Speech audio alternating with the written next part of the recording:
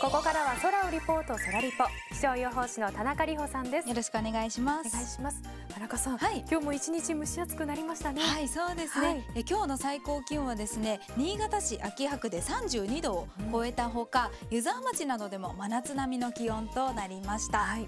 本当に連日厳しい残暑が続いていますけれども、ね。今日は、えー秋の話題をまずはお伝えします、えー第1回紅葉情報です。もう紅葉ですか？はい、えー日本気象協会によりますと県内の予想地点のここですね弥彦公園は11月11日頃に色づきそうです、はい。これ例年と比べるとどうでしょうか例ね年と比べると、えまあ平年並みかやや遅くなる予想なんですよね。うん。はい、というのもあの残暑が厳しいからですね。そうですね。はい、まだ見頃がここ、えー、2ヶ月ぐらい先ということで目からも秋を感じるのはもう少し先になりそうですね。はい。楽しみに待っていましょう、はい。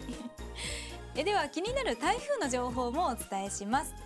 えこちらですね台風13号現在フィリピンの東の海上にありますが今後は発達しながら北西方向に進んでいきまして、えー週末には暴風域を伴ったまま沖縄に接近する見通しです。はいでその後ですね週明けには大陸に上陸しまして熱帯低気圧に変わるでしょうこのため県内へのまあ直接的な影響はない見込みなんですが、はい。ただ連日お伝えしている通りこの台風が秋雨前線の活動を活発にする、ね。はい、可能性もありますので台風本体が近づいてこなくても要注意です。はい。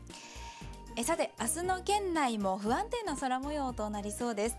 明日午前9時の予想天気図を見ていきましょう。え明日は東北付近から日本海にかけて秋雨前線が停滞してこの前線に向かって暖かく湿った空気が流れ込んでくるでしょう。えこのため県内は雲が多くうん。ところどころで雨や雷雨となりそうです。では明日の天気の移り変わりを見ていきましょう。こちらが明日の朝6時の予想です。